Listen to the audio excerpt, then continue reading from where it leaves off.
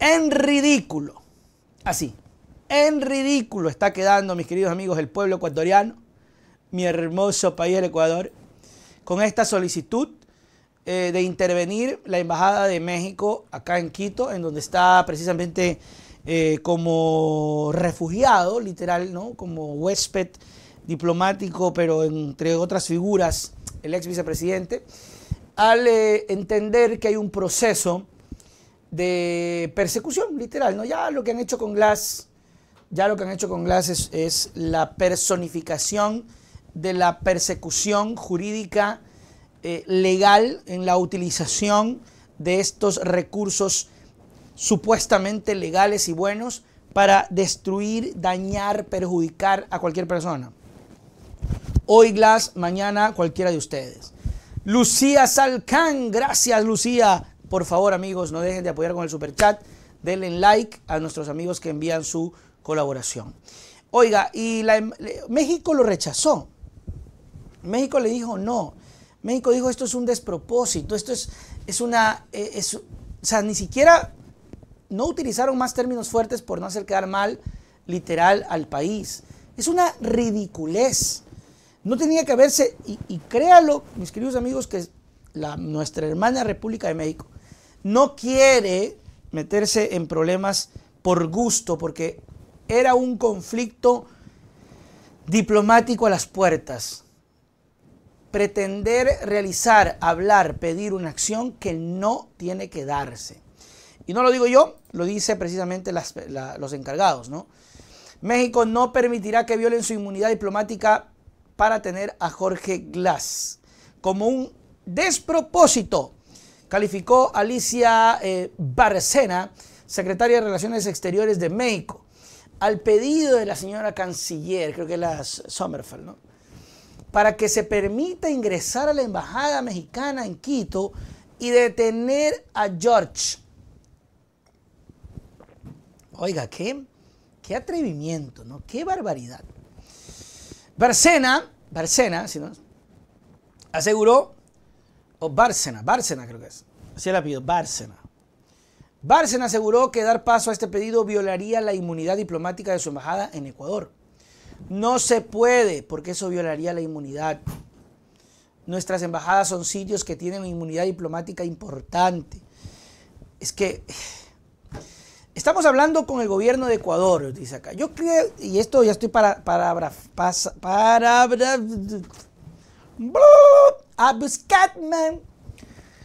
parafraseando. Ya la vamos a escuchar directamente a la señora. Quien cree que podría venir de una fuente no oficial. Pero fue la canciller Sommerfeld. O sea, más oficial que eso. Barcena aseguró que México continúa analizando la situación del asilo del ex vicepresidente Jorge Glass. En ese sentido, indicó que aún no se han concedido, pero tampoco se lo ha negado. Entonces está como, como en una especie de, de limbo. Explicó que México siempre ha sido un país de mucha acogida para los asilados, los refugiados, sobre todo cuando huyen de una persecución política. Y eso es lo que se está analizando, que tanto qué tanto es una persecución política a Jorge Glass o qué tanto es un problema legal o de corrupción. Así es de que no, no van a entrar a la embajada nunca. Como, imagínense el, nefasto precedente, explicaba la señora sobre este caso, que sería permitir, ¿no? Y ahí creo que, creo que Correa había mencionado en algún punto de que efectivamente este Andrés Manuel López Obrador AMLO no iba a hacer lo que hizo el señor Lenín Moreno, ¿no? De entregar a Julian Assange.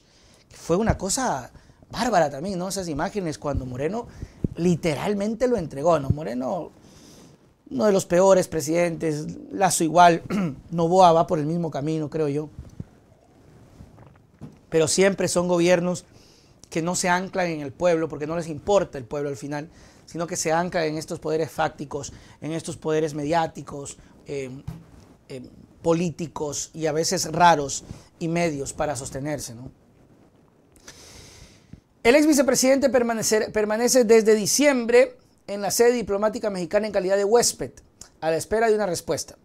El pedido para que la policía ecuatoriana ingrese a la Embajada de México en Quito para eh, arrestar al ex vicepresidente lo realizó la Cancillería directamente, la señora Gabriela Sommerfeld, y generó una serie de cuestionamientos de embajadores, políticos entre otros, por el desconocimiento del derecho internacional que ese tipo de actuaciones evidencian.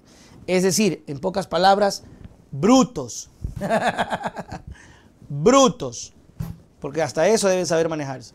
Iris Ortiz, que viva Rafael Correa, el mejor presidente del Ecuador de todos los tiempos y seguro estará en la papeleta de elecciones 2025. No, no lo sé, no lo creo, pero quién sabe. Por todas las cosas que tiene que superar Correa para poder regresar, es muy, muy complicado. Por ejemplo, el ex embajador de Ecuador en México, Francisco Carrión, calificó como una nueva metedura de pata de la canciller Sommerfeld. Jorge Glass es un huésped. El pedido de asilo está siendo estudiado. La Cancillería de Ecuador no puede pedir autorización para capturar a un huésped protegido por leyes y soberanía mexicana. El embajador, por ejemplo, eh, Fernando Yepes, indicó que ese pedido es otra vergonzosa chambonada de la canciller y un total despropósito. Explicó que México es un país serio que fundamenta su política exterior en el derecho internacional, es decir, no por lo que le sale de la panza, como parece que están haciendo aquí con el gobierno de Novoa. No es la primera ocasión que la Cancillería o la canciller Sommerfeld comete este tipo de errores en su gestión. Anteriormente aseguró que Ecuador no reconoce al gobierno de Nicolás Maduro, presidente de Venezuela, pero fue posteriormente desmentida por el propio presidente Novoa.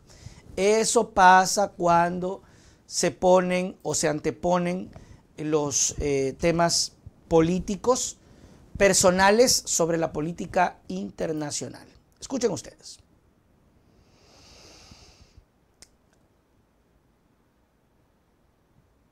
Aquí está.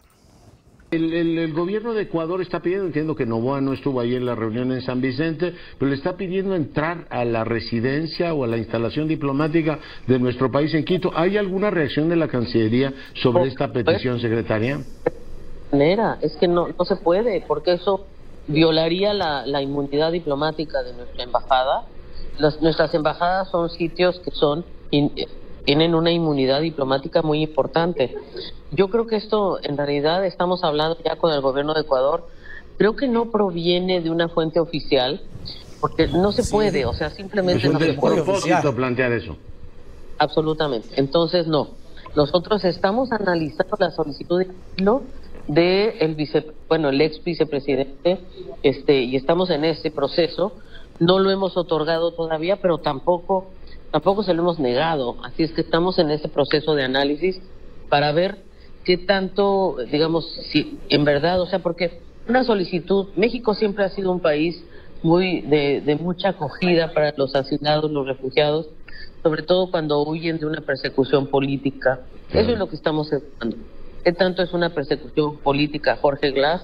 ¿Qué tanto es realmente este un problema legal y de corrupción. Además, sagrado el derecho al asilo, ¿no? Si pidió la protección, pues se le tiene que dejar, ¿no? Se le tiene que mantener. Ah, absolutamente. Así es de que no, de que van a entrar a la embajada nunca. Imagínate tú.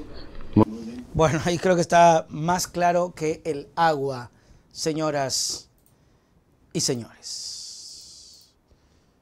Señoras y señores. Otra vez. Se acabó.